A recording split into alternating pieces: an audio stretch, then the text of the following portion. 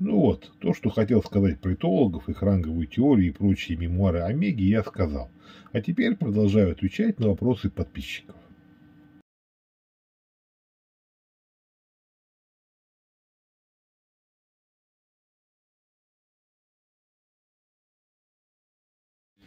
В отношениях с женщиной для мужчины нормально делать только то, чего он сам хочет и что для него выгодно. А вот то, чего он делать не хочет или что для него невыгодно, это для мужчины делать ненормально. Женщин много, а вы у себя один. А поэтому ориентироваться на то, что какая-то баба хочет или чего он не хочет, а тем более на то, что она вам не разрешает, я считаю абсолютно неправильно. И о каких двойных стандартах вы вообще говорите? Понимаете, что тем самым вы признаете женщину равной себе –